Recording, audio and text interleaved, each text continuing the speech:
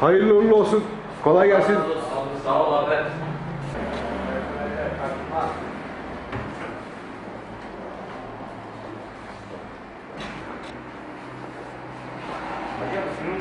Evet, İznik iki yapı Buyur abi. firmasının showroomundayız.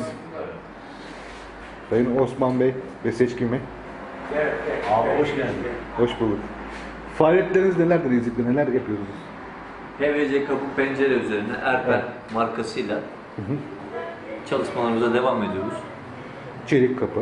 Çelik kapı, duşakabin, laminat parke, evle ilgili ne varsa bizim sloganımız, evinizle ilgili ne varsa yardımcı olmaya çalışıyoruz. Onları yapıyorsun. Peki eski evlere tadilat? Tadilat, tamirat işlerimiz var.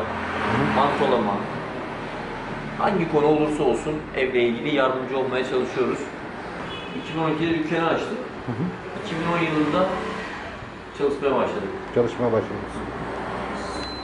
İlk açtığınız zaman Alo Usta olarak piyasaya girdiniz. Evet, Evinizle ilgili ne varsa diye. evet. Alo Usta sloganıyla girdik. Burada İznik'te çok büyük bir eksiklik vardı. İnsanlar da bu yönde talepte bulundular. Zaten bizi tanıyorlar. Çalıştığımız için gözükmüyorduk. Dedik ki telefonla bari yardımcı olalım. Çünkü sabahtan akşama kadar inşaatlardayız. Evet. Böyle böyle geliştik.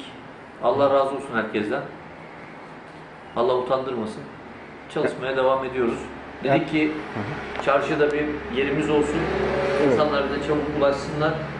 Evet. Onun için de böyle bir yer ihtiyaç doğurdu. Biz de açmaya karar verdik. İnşallah hayırlısı olur ya.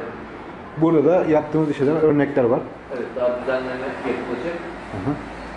yapılacak. Duşakabin, çelik kapı, yer döşemesi, İlerisi, küpeşte, laminat şiles parke, mermer. İlerisindeki kendi imalatım abi. Kendi imalatınız. Kendi imalatım. Ne özelliği var normal sineklikten? Normal sineklikten ne özelliği var? Normal sineklik menteşeli olduğu için yani bazı Kullanış olarak içeri avantajlı. zaman açamıyor vatandaş. Koltuk koyuyor, sehpa koyuyor. Öteki içeriden sürmeli olduğu için daha ekonomik, daha kullanışlı oluyor abi. Fiyatta daha mı ekonomik? Fiyatı Fiyatı ekonomik değil. Çok az farkı var ama farkı var yani. kullanım olarak çok büyük avantaj Kullanım sağlıyor. olarak şurada göstereyim abi. Gösterin.